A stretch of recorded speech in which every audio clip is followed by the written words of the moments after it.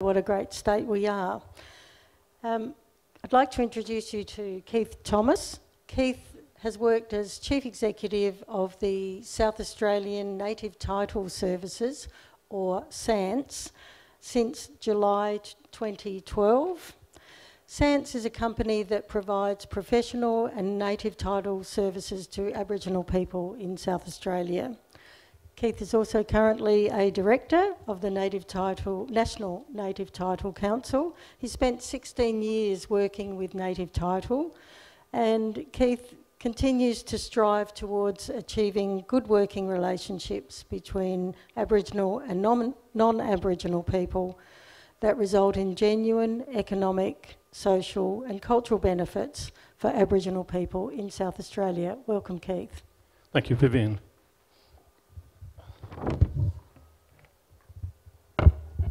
This is going to be a tricky.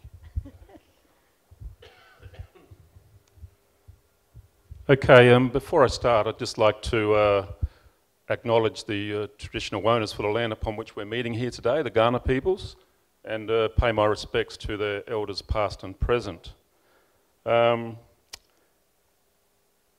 as I move forward, I suppose I'd like first of all, just to say thank you to everybody for having me here today to talk to you. I'm here to talk about the Aboriginal community considerations. First part I'm going to talk about is uh, culture and country. Um, Aboriginal people have had an inseparable relationship with country through culture, laws, and customs. Aboriginal people have managed country for thousands of years and have an intimate knowledge of the ecological and environmental processes uh, and, and sustainable practices to that land. Health of country, health of culture, and health of self, family, and community are all interconnected. Dreaming or creation stories, Tjukurpa in Western Desert language, connect ancestors to country and in turn impart responsibilities on current and future generations to care for both cult uh, culture and country.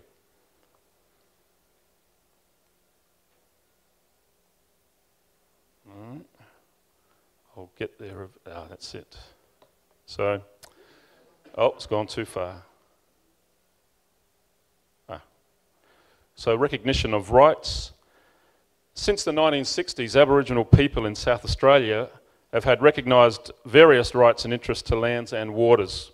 This has included various parcels of lands uh, brought under the Aboriginal Lands Trust Act, the granting of statutory uh, Aboriginal freehold title through the uh, Anangu Pitjantjatjara Yankunytjatjara Land Rights Act and the Maralinga Tjarutja Land Rights Act, and also the negotiations and agreements and settlements and determinations made under the Native Title Act.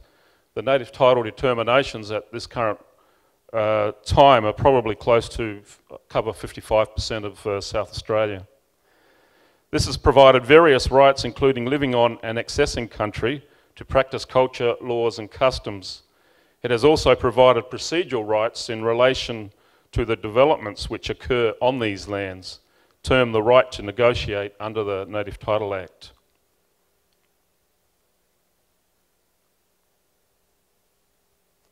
Okay.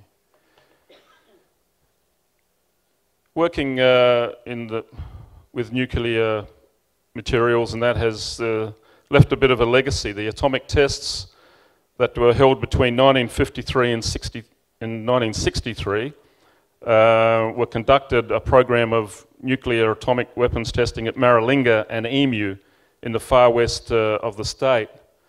This involved large-scale atomic tests uh, equivalent to the size of the Hiroshima bomb and smaller experiments. This program resulted in significant radioactive and hazardous material contamination impacting lands, waters, and people. The fallout or black mist was extensive, with uh, radioactivity detected across much of the continent.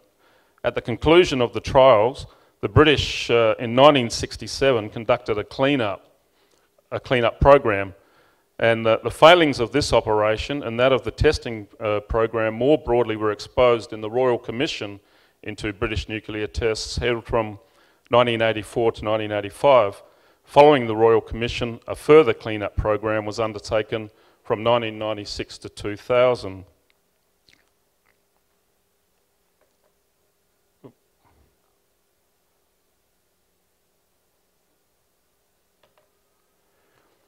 As uh, Maralinga Tjarutja and Yalata Community Inc. said in their submission to the Nuclear Fuel Cycle Royal Commission, the testing is the location of the most long-lasting and irresponsible environmental disaster in Australia's history and that a nuclear cleanup can never render radioactive material safe.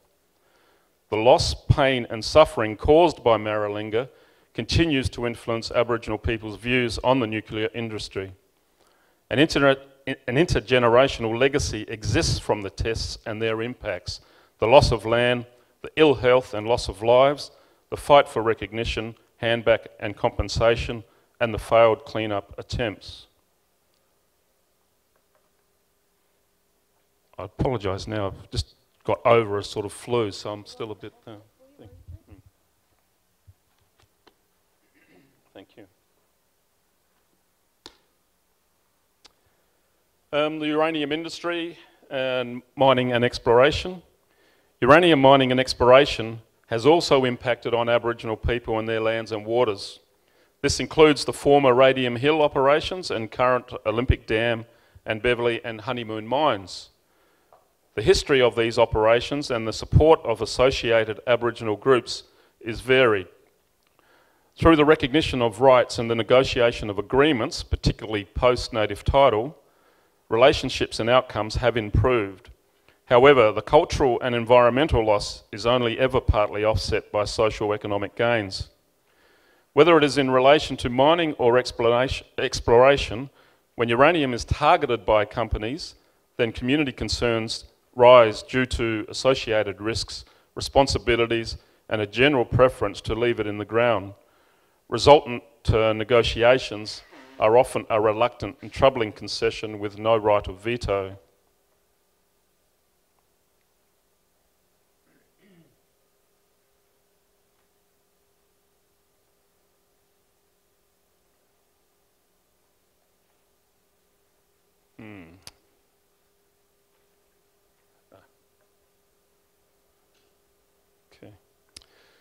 In, in terms of nuclear waste, um, Aboriginal people have protested against previous proposals to establish a nuclear waste facility in South Australia.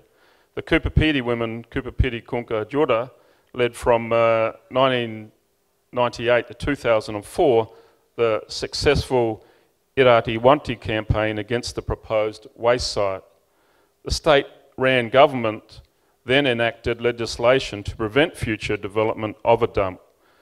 For many Aboriginal people, uranium waste is poison or irati, meaning because there is no Western Desert word, uh, Aboriginal word for uh, radioactivity in, in, that sense. So the, the meaning is, they call it killing magic or deadly magic weapon and that type of thing. So it's something best left alone.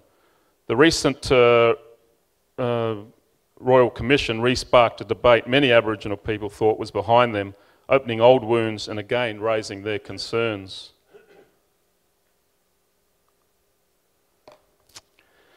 So, in the last year, some of the key concerns that the Aboriginal community have raised with SANTS, that's South Australian Native Title Services, uh, include having to always put the state's interest ahead of culture and country and lack of recognition by non Aboriginal people of the impacts on Aboriginal culture, um, Aboriginal views and concerns uh, should not be viewed as soft and emotional, and science as hard and factual.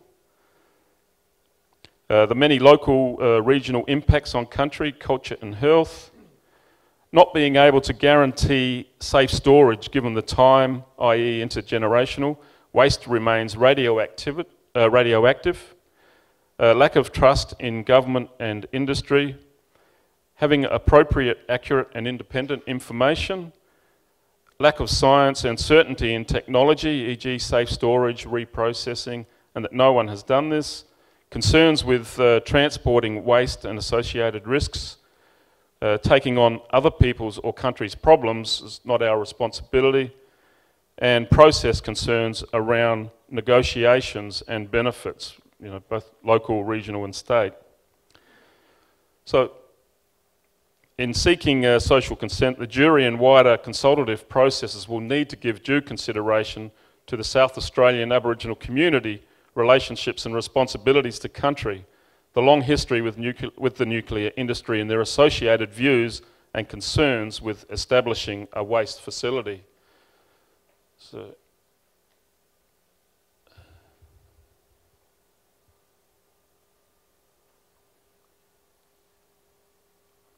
so in closing, I, will just uh, repeat those main areas that I looked at. The key, the key points are one, culture and country are inseparable and linked to well-being in mind, body and spirit. Secondly, the atomic tests were a violation of human and environmental rights and it has left a legacy. Third, Aboriginal people's rights have been recognised over the last 30 years, giving a voice in development. Four, Aboriginal uh, people's participation in nuclear industry is often a reluctant and troubling concession. Five, Aboriginal people successfully protested against a waste dump in 1998 2004. And six, the recent Royal Commission has brought up old wounds and concerns, including culture, country, safety, future generations, health, knowledge, and trust. So, thank you very much.